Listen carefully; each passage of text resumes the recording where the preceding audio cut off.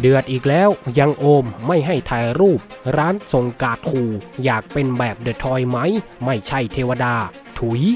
นักร้องดังยังโอม โพสต์หลังไปร้องเพลงที่นครพนมว่า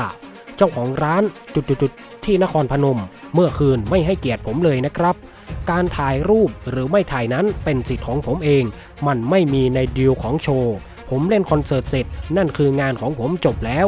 เจ้าของร้านไม่มีสิทธิ์ในการอารมณ์เสียใส่ผม ไม่จำเป็นต้องให้กาดมาขู่ผมหรอกครับ ว่าอยากเป็นข่าวแบบเดอะทอยไหม ผมไม่ได้กลัวเลย ผมรักษาสิทธิ์ของผมเอง ฝากเพื่อนๆพิจารณาด้วยครับ ก่อนที่จะโพสต์อีกนะครับว่าเมื่อวานที่นครพนมสนุกมากๆเลย ขอบคุณทุกคนมากๆ แฟนๆ ทุกคนให้เกียรติผมดีมาก และขอโทษจริงๆ ที่ถ่ายรูปได้ไม่หมดทุกคน หวังว่าทุกคนจะเข้าใจนะครับ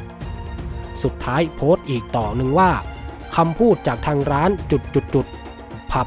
จุดจุดจุดระบุว่า ยังโอม วงเล็บ อย่าจ้างงานเด็ดขาด อย่าให้มาเยือนนครพนมอีก จุดจุดจุดจะไปดังที่ไหนก็เรื่องของเมือง ไม่ประทับใจ นิสัยแย่มาก จุดจุดจุดเงินกับน้ำใจอย่าเยอะ ไม่ใช่เทวดา ถุย เท่าแก่อย่างกูรับไม่ได้ เงิบกล้าก็เอา ปอลอรู้จักแต่ธงชัยแม็กอินไต ท่านผู้ชมครับ ท่านคิดเห็นยังไงกันบ้างกับการที่เจ้าของผับกระทำการแบบนี้กับศิลปินนักร้อง ลองมาคอมเมนต์พูดกันดูนะครับ สุดท้ายนี้ขอขอบคุณข้อมูลจากข่าวสดขอบคุณครับ